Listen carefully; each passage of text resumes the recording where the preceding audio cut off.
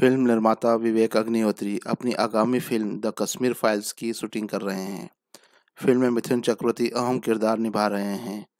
बता दें कि हाल ही में फ़िल्म की शूटिंग को रोकना पड़ा, क्योंकि अभिनेता मिथुन चक्रवर्ती सेट पर बीमार पड़ गए थे। यदि आपने अभी तक हमारा चैनल सब्सक्राइब नहीं किया तो प्लीज़ चैनल को सब्सक्राइब करें और press the bell icon. Media reports के अनुसार पेट में इन्फेक्शन के कारण अभिनेता मिथुन चक्रवर्ती की हालत बिगड़ गई थी, जिस वजह से निर्देशक विवेक अग्निहोत्री को शूटिंग रोकनी पड़ी। इस घटना को बताते हुए विवेक अग्निहोत्री ने यह भी खुलासा किया कि मिथुन दा ने बुरी स्थिति में होने के बावजूद एक सीक्वेंस की शूटिंग पूरी की। विवेक अग्निहोत्री ने कहा, हम एक बड़े एक्शन सीक्वेंस की शूटिंग कर रहे थे। सब कुछ मिथुन चक्रवर्ती के किरदार के इर्द गिर्द केंद्रित था, लेकिन अचानक उन्हें पेट इन्फेक्शन का सामना करना पड़ा। और यह बहुत बुरा था। कोई भी व्यक्ति इस हाल में खड़ा नहीं हो सकता था।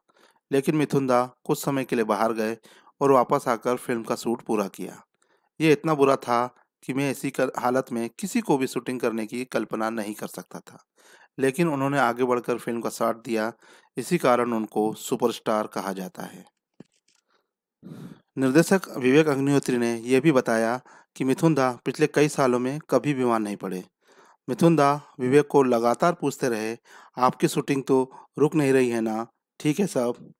फिर विवेक बताते हैं, मैं वास्तव में आश्चर्यचकित हूँ, क्योंकि मैंने इस पीढ़ी में किसी को भी अपने काम के प्रति इतना समर्पित नहीं देखा है।